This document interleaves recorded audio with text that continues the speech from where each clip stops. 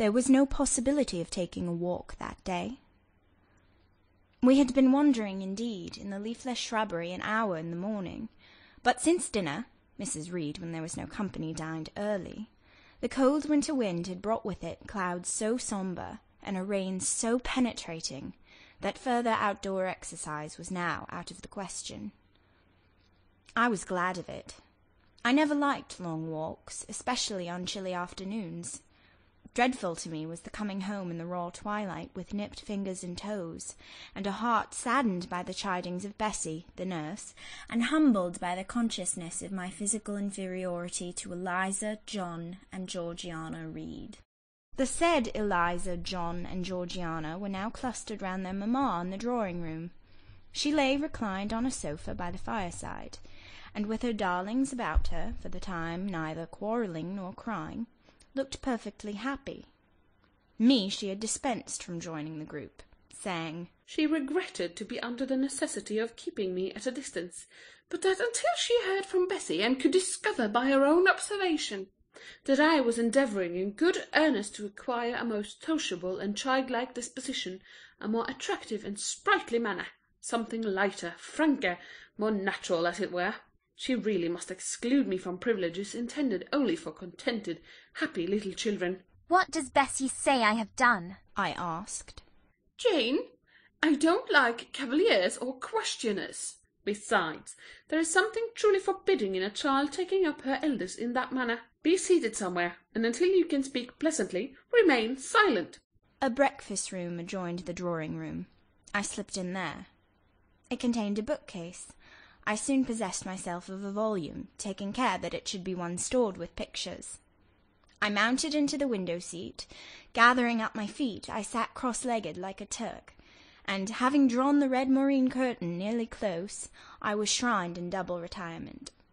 Folds of scarlet drapery shut in my view to the right hand. To the left were the clear panes of glass, protecting but not separating me from the drear November day. At intervals, while turning over the leaves of my book, I studied the aspect of that winter afternoon. Afar it offered a pale blank of mist and cloud; near, a scene of wet lawn and storm-beat shrub, with ceaseless rain sweeping away wildly before a long and lamentable blast. I returned to my book, Bewick's History of British Birds. The letterpress thereof I cared little for, generally speaking. And yet there were certain introductory pages that, child as I was, I could not pass quite as a blank. They were those which treat of the haunts of sea-fowl, of the solitary rocks and promontories, by them only inhabited, of the coast of Norway, studded with isles from its southern extremity, the Lindeness or Naze, to the North Cape, where the northern ocean in vast whirls boils round the naked melancholy isles of farthest Thule, and the Atlantic surge pours in among the stormy Hebrides. Nor could I pass unnoticed the suggestion of the bleak shores of Lapland, Siberia, Spitzbergen, Nova Zembla, Iceland, Greenland, with the vast sweep of the Arctic zone, and those forlorn regions of dreary space, that reservoir of frost and snow, where firm fields of ice, the accumulation of centuries of winters, glazed in alpine heights above heights, surround the pole, and concentre the multiplied rigours of extreme cold. Of these death-white realms I formed an idea of my own shadowy like all the half-comprehended notions that float dim through children's brains, but strangely impressive. The words in these introductory pages connected themselves with the succeeding vignettes, and gave significance to the rock standing up alone in a sea of billow and spray, to the broken boat stranded on a desolate coast, to the cold and ghastly moon glancing through bars of cloud at a wreck just sinking. I cannot tell what sentiment haunted the quite solitary churchyard, with its inscribed headstone, its gate, its two trees, its low horizon girdled by a broken wall, and its newly risen crescent attesting the hour of eventide. The two ships becalmed on a torpid sea I believe to be marine phantoms. The fiend pinning down the thief's pack behind him I passed over quickly. It was an object of terror. So was the black horned thing seated aloof on a rock, surveying a distant crowd surrounding a gallows. Each picture told a story, mysterious often to my undeveloped understanding and imperfect feelings, yet ever profoundly interesting. As interesting as the tales Bessie sometimes narrated on winter evenings, when she chanced to be in good humour, and when, having brought her ironing table to the nursery hearth, she allowed us to sit about it, and while she got up Mrs. Reed's lace frills and crimped her nightcap borders, fed our eager attention with passages of love and adventure taken from old fairy tales or other ballads, or, as at a later period I discovered, from the pages of Pamela and Henry, Earl of Morland. With Bewick on my knee, I was then happy. Happy at least in my way. I feared nothing but interruption, and that came too soon. The breakfast room door opened. Boo! Madam Mope! cried the voice of John Reed. Then he paused. He found the room apparently empty. Where the dickens is she? He continued, Lizzie! Georgie! calling to his sisters. Joan is not here. Tell Mamma she has run out into the rain. Bad animal. It is well I drew the curtain. thought I, and I wished fervently he might not discover my hiding place. Nor would John Reed have found it out himself. He was not quick either of vision or conception, but Eliza just put her head in at the door and said at once, She is in the window seat, to be sure, Jack. and I came out immediately, for I trembled at the idea of being dragged forth by the said Jack. What do you want? I asked, with awkward diffidence. Say, what do you want, Master Reed? Was the answer. I want you to come here. And seating himself in an armchair, he intimated by a gesture that I was to approach and stand before him. John Reed was a schoolboy of fourteen years old, four years older than I, for I was but ten. Large and stout for his age, with a dingy and unwholesome skin, thick lineaments and a spacious visage, heavy limbs and large extremities. He gorged himself habitually at table, which made him bilious, and gave him a dim and bleared eye and flabby cheeks. He ought now to have been at school, but his mamma had taken him home for a month or two. On account of his delicate health. Mr. Miles, the master, affirmed that he would do very well if he had fewer cakes and sweetmeats sent him from home, but the mother's heart turned from an opinion so harsh, and inclined rather to the more refined idea that John's sallowness was owing to over-application, and perhaps to pining after home. John had not much affection for his mother and sisters, and an antipathy to me. He bullied and punished me, not two or three times in the week, nor once or twice in the day, but continually.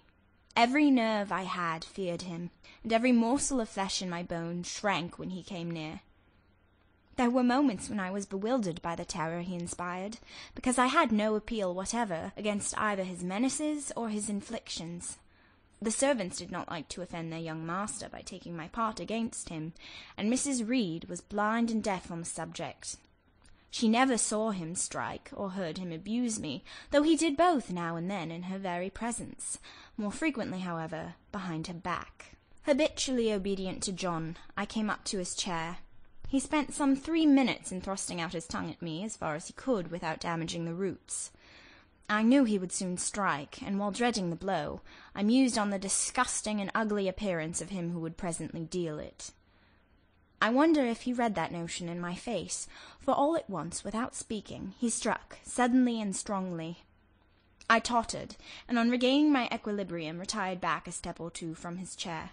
That is for your impudence in answering Mamma a while since, Said he, and for your sneaking way of getting behind curtains, and for the look you had in your eyes two minutes since, you rat. Accustomed to John Reed's abuse, I never had an idea of replying to it. My care was how to endure the blow which would certainly follow the insult. What were you doing behind the curtain? He asked. I was reading. Show the book. I returned to the window and fetched it thence. You have no business to take our books. You are a dependent, Mamma says. You have no money. Your father left you none. You ought to beg, and not to live here with gentlemen's children like us, and eat the same meals we do, and wear clothes at our mamma's expense. Now I'll teach you to rummage my bookshelves, for they are mine. All the house belongs to me, or will do in a few years. Go and stand by the door, out of the way of the mirror and the windows. I did so, not at first aware what was his intention, But when I saw him lift and poise the book and stand and act to hurl it, I instinctively started aside with a cry of alarm. Not soon enough, however. The volume was flung. It hit me, and I fell, striking my head against the door and cutting it. The cut bled. The pain was sharp. My terror had passed its climax. Other feelings succeeded. Wicked and cruel boy, I said. You are like a murderer. You are like a slave driver. You are like the Roman emperors. I had read Goldsmith's History of Rome, and had formed my opinion of Nero, Caligula, etc. Also, I had drawn parallels in silence, which I never thought thus to have declared aloud. What? What? He cried. Did she say that to me? Did you hear her, Eliza and Georgiana? Won't I tell Mamma? But first... He ran headlong at me. I felt him grasp my hair and my shoulder. He had closed with a desperate thing. I really saw in him a tyrant, a murderer. I felt a drop or two of blood from my head trickle down my neck, and was sensible of somewhat pungent suffering. These sensations for the time predominated over fear, and I received him in frantic sort. I don't very well know what I did with my hands, but he called me Rat! Rat! and bellowed out aloud. Aid was near him. Eliza and Georgiana had run for Mrs. Reed, who was gone upstairs. She now came upon the scene, followed by Bessie and her maid, Abbot. We were parted. I heard the words, Dear, dear, what a fury to fly at Master John! Did ever anybody see such a picture of passion? Then Mrs. Reed subjoined. Take her away to the Red Room and lock her in there. Four hands were immediately laid upon me, and I was borne upstairs.